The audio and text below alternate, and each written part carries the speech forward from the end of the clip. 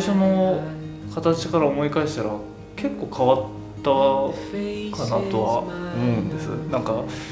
自分たちが思い描いてない部分のところまで結局まあ提案してもらってあそれはいいですよねっていう話にはなったのでちょっと自分たちの場合はそう漠然と結構やっぱり家づくりの初めの方からですけどしてしまってたので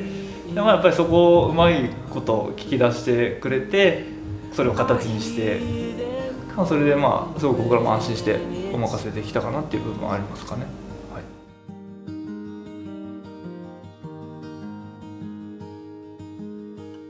畳家の中にどこかそういうちょっとくつろぎになるスペースがあればいいなっていうことで、まあ、今リビングのこの一角に、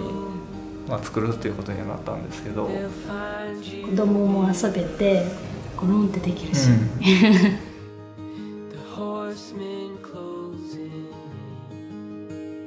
次はこれを話します。じゃあそれが終わったので次はまたこれを話し進めていきますっていうやっぱり流れもあの次々とやってってもらえたので、まあ、そこら辺はすごくやりやすかったかなと思います